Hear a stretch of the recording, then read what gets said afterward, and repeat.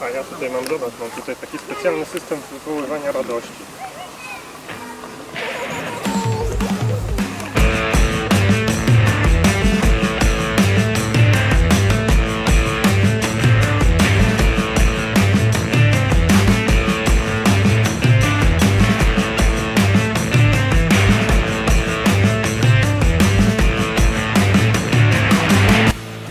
Kozi Gród niby przyjazny dla rodzin z dziećmi, ale nam zakwaterowali jakiś po prostu imprezowiczów weselnych. I od 4 do 6 nad ranem była masakra, trzeba było słuchać jak śpiewają jakieś głupie piosenki.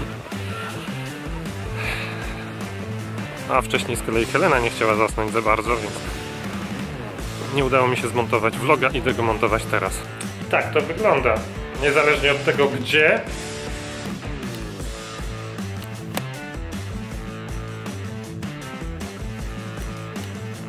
edycja musi być.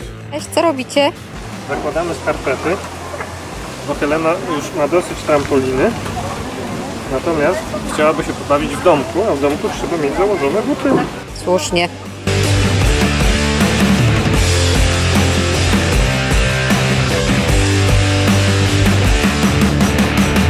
Więc Gosia obejrzała ostatni odcinek vloga i powiedziała mi, że zrobiłem reklamę tego koziego grodu, więc żeby nie było tak słodko, to jeszcze e, chciałem to uzupełnić o e, lekki minus, a mianowicie w nocy z soboty na niedzielę była tutaj impreza jakaś weselna i nam zakwaterowali przez ścianę jakichś po prostu imprezowiczów, którzy się położyli spać wtedy, kiedy myśmy właściwie już chcieli wstawać. I było naprawdę głośno. Jedziemy na pobliski plac zabaw i w sumie to moglibyśmy z Heleną założyć taki kanał YouTube'owy, gdzie byśmy robili recenzję placy zabaw. No, fajnie by było, nie?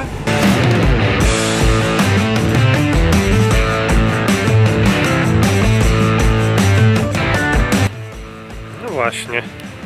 Już kiedyś o tym mówiłem. Opowiadałem o tym, że nie ma sensu w dzisiejszych czasach bać się posiadania swojej strony internetowej, czy w ogóle bycia obecnym w sieci, bo bez tego już tak naprawdę się nie da. A dzisiaj chciałbym jeszcze raz ten temat poruszyć, natomiast bardziej w takim kontekście, że bo czasami się ludzie zastanawiają, na przykład dosyć dużo, ja takich mam jakichś uwag, że po co ty robisz te vlogi, po co w tych vlogach pokazujesz swoje życie i tak dalej. No, po to, że moim zdaniem to jest jakaś forma nawiązywania kontaktu w dzisiejszych czasach, tak, że jeżeli bym tego nie robił, to ktoś, kto chciałby ze mną powspółpracować, będzie się zastanawiał, kim ja jestem, jakie ja mam wartości, co ja sądzę na różne tematy, a jeżeli w internecie można zobaczyć mnie, zobaczyć jak spędzam czas, zobaczyć co dla mnie jest ważne, a co nie, no to już nikt takich pytań sobie nie będzie zadawał, bo to już jest jasne. Po prostu. Także moim zdaniem warto jest kręcić vlogi, warto jest mieć bloga, warto jest publikować swoje myśli, bo dzięki temu ktoś, kto myśli podobnie, może łatwiej nas znaleźć. A to wszystko o to chodzi tak naprawdę, czy się jest przedsiębiorcą, czy się jest pracownikiem. Chodzi o to, żeby spędzać czas i żeby robić biznesy z ludźmi, którzy myślą podobnie, którzy wyznają te same wartości. Ja mówię o rzeczach takich jak na przykład równouprawnienie, jak fajne miejsca pracy, jak co zrobić, żeby w firmie było super, jak prowadzić dobrą komunikację. Mam nadzieję, że w sieci znajdują mnie osoby, dla których to są też ważne rzeczy. I kiedyś ktoś do mnie przyjdzie i powie, słuchaj, ja mam taką i taką inicjatywę, mam taki taki pomysł, zróbmy to razem. I ja powiem, ok, bo będziemy mieli te same wartości, bo będziemy dążyli do tych samych celów. Prowadzę tego vloga po to, żeby moja córeczka go oglądała, po to, żeby w przyszłości mogła sobie obejrzeć te odcinki. Nie warto się bać być obecnym w sieci, bo w ogóle nie warto się bać.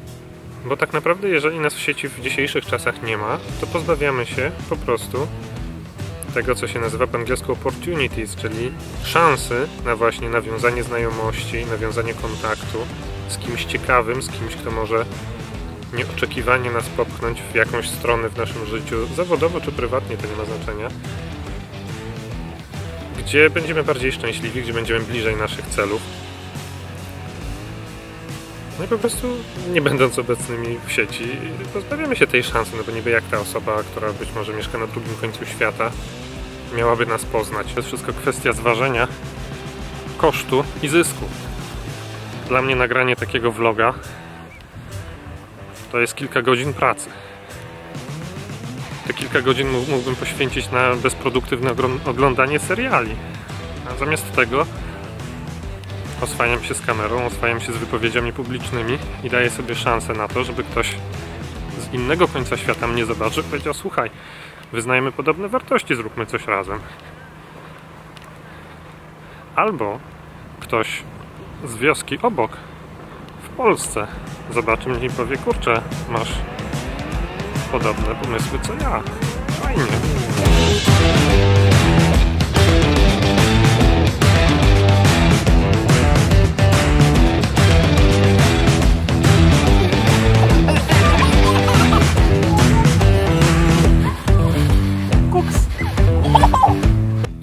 Zauważyliście, że jest taki standardowy zestaw tematów, przez który przechodzi każdy vloger i bloger, który zaczyna pisać o takim zmienianiu siebie, pracy nad sobą, self-improvemencie i tak dalej? No ja zauważyłem. To są takie tematy jak właśnie jak szanować swój czas, w jaki sposób być produktywnym, w jaki sposób efektywnie obsługiwać pocztę mailową. Ja tu już specjalnie nie chcę rzucać żadnych nazwisk ani nic takiego, ale każdy szanujący się vloger, który o takich tematach produktywnościowo-self-improvementowych mówi, to przez ten taki żelazny zestaw przechodzi. Ciekawe, czy to jest spowodowane tym, że po prostu wszyscy tak naprawdę czytamy te same książki, dochodzimy do tych samych wniosków, czy przechodzimy przez ten sam zestaw blog postów i czy to jest tak, że w pewnym momencie w okolicy tam powiedzmy między 33 a 40 lat dochodzi się jednak do jakichś pewnych wniosków dotyczących tego, na co warto poświęcać swój czas, w jaki sposób warto żyć, czym warto się przejmować i po prostu wszyscy jesteśmy tacy sami i wszyscy dochodzimy w tym podobnym momencie do podobnych wniosków i później tylko się nimi dzielimy z naszą publicznością, z naszą rodziną, z, z ludźmi, którzy są wokół nas, a niektórzy poprzez vlogi i blogi.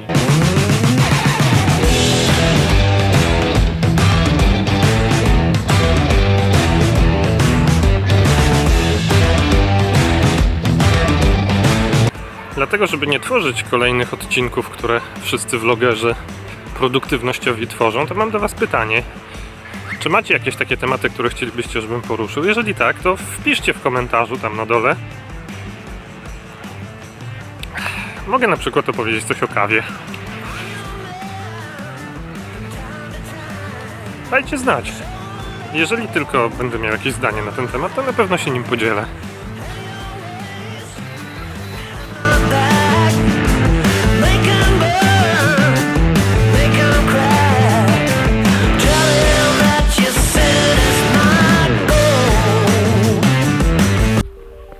Idziemy do wiatraka w Ręboszewie. O, tu jest ten wiatrak. Tam na górze. Idziemy, idziemy na górę.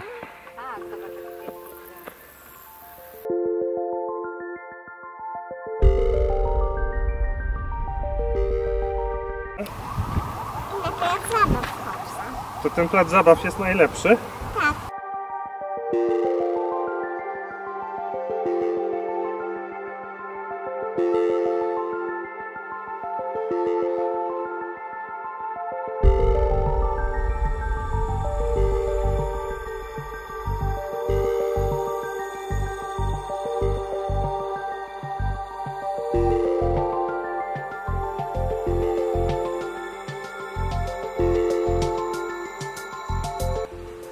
No to jesteśmy przy wiatraku w Ręboszewie i wygląda na to, że nie dość, że w tym wiatraku można sobie pochodzić po środku i tam jest jakaś knajpa, to jeszcze można tam wynająć jakiś nocleg. To jest strasznie fajna opcja, a wiatrak się znajduje, proszę bardzo, przy placu zabaw takim i nad jeziorem.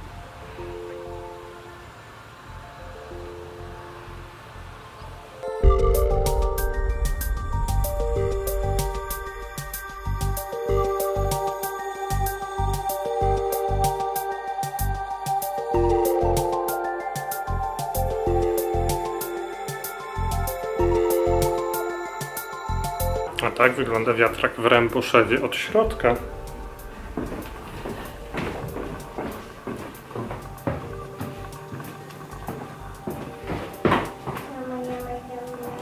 O, a tu jest piękny widok przez okno.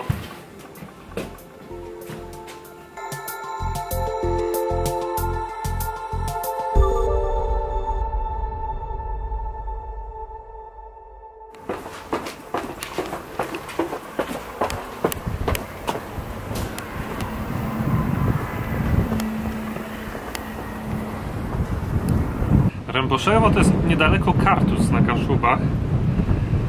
Czyli to jest ki- jakieś kilkadziesiąt kilometrów od Gdańska. Nie sprawdzałem tego, także możecie mnie po- poprawić w komentarzu, jeżeli mówię głupoty. No i jakieś tam 18 czy 20 kilometrów od Pomlewa, w którym mieszkamy obecnie. I tu jest taki wiatrak bardzo ładny, odrestaurowany, który stoi na szczycie góry. Tam jest jezioro, a tu jest wiatrak.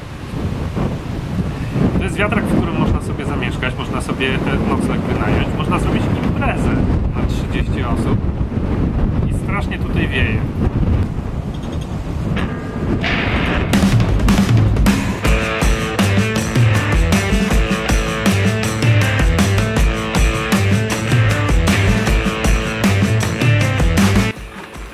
Poszliśmy na rowery, a skończyliśmy na spacerze bo Helena stwierdziła, że ona chce iść na nogach, a nie chce jechać w foteliku na rowerze.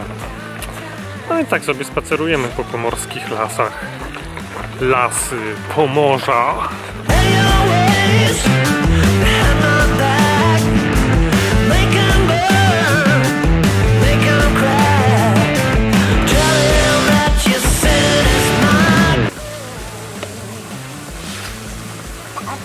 Słynny vloger, żeby mieć inspirację do swoich vlogów, postanowił, postanowił zrobić inaczej niż inni vlogerzy. I zamiast zgłębiać te wszystkie tajniki produktywności, jakieś strategie i inne takie, postanowił zrobić trochę babek z piasku. I znaleźć w tym sens,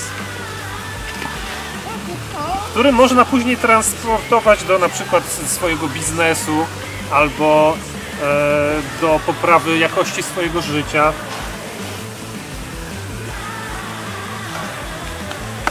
Otóż trzeba najpierw babkę napełnić dobrze piaskiem. Piasek nie może być nie może być zbyt suchy.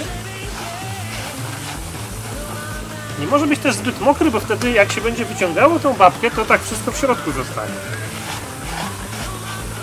No więc właśnie, drodzy vlogerzy, może bądźmy trochę oryginalni. Ja uważam, że zbudowanie takiego zamku z piasku to może być niezłe ćwiczenie strategiczne. I trochę lepsze niż siódmy vlog na temat tego, dlaczego warto. Mam nadzieję, że Ci się podobało. Jeżeli ten odcinek był spoko, wciśnij lajka pod tym odcinkiem oraz zasubskrybuj kanał i kliknij dzwonek i puść info do swoich znajomych. Jeżeli masz do mnie jakieś pytania, napisz komentarz pod filmem. Na każdy odpowiem. Trzymaj się.